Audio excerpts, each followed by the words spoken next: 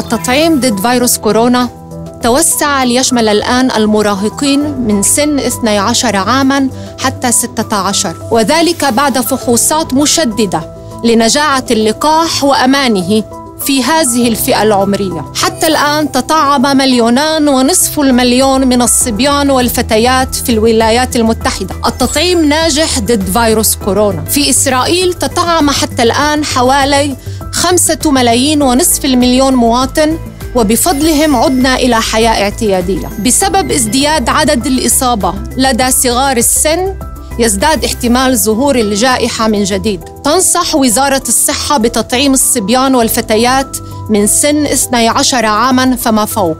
التطعيم هو الوسيلة للحماية من طفرات الكورونا الخطيرة تجنب الحجر الصحي ولتخفيض انتشار العدوى في إسرائيل. لديكم المزيد من الأسئلة؟